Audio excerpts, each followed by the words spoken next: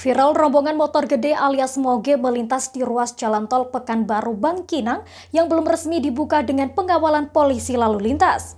Foto rombongan moge melintas di ruas jalan tanpa hambatan itu kemudian beredar di media sosial. Diketahui rombongan moge tersebut melintas di jalur 2 Jalan Lintas Sumatera dari arah Bangkinang ke Pekanbaru dengan pengawalan polisi di depannya.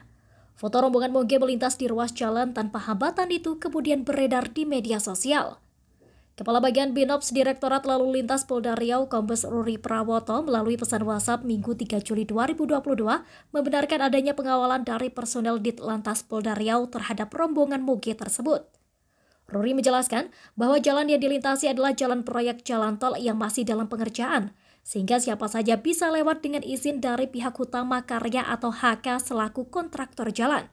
Karena jalan tersebut masih dalam pengerjaan, untuk faktor keamanan maka dilakukan pengawalan. Tol Pekanbaru Bangkinang diketahui memang belum resmi dibuka karena pengerjaannya belum selesai. Tol sempat dibuka untuk kelancaran arus mudik dan balik saat lebaran 2022 namun ditutup kembali. Ruri menuturkan jalan tol adalah jalan umum atau tertutup di mana para penggunanya dikenakan biaya untuk melintas sesuai tarif yang berlaku. Jalan ini merupakan bentuk pemberian tarif pada jalan yang umumnya diterapkan untuk menutupi biaya pembangunan dan perawatan jalan sesuai dengan PP nomor 15 tahun 2005 tentang jalan. Ia mengungkapkan jalan yang dilintasi tersebut belum jalan tol karena belum berbayar dan masih menjadi jalan khusus. Di mana kewenangan keluar masuk lokasi tergantung pihak pembuat jalan tersebut. Rory menjelaskan definisi jalan umum berdasarkan Undang-Undang Nomor 22 Tahun 2009 Pasal 1 Angka 12 adalah jalan yang sudah nyata-nyata dipergunakan untuk lalu lintas umum. Secara terpisah, Direktur Lalu Lintas Polda Riau Kombes Firman juga membenarkan adanya rombongan moge yang dikawal polisi tersebut. Ia menyebutkan pengawalan rombongan moge itu menuju Bukit Tinggi Sumatera Barat. Menurut Firman, tidak ada masalah rombongan moge itu melewati jalan tol meski proyek jalan itu belum selesai yang menyebut rombongan Moge sudah mendapatkan izin melintasi dari pihak PT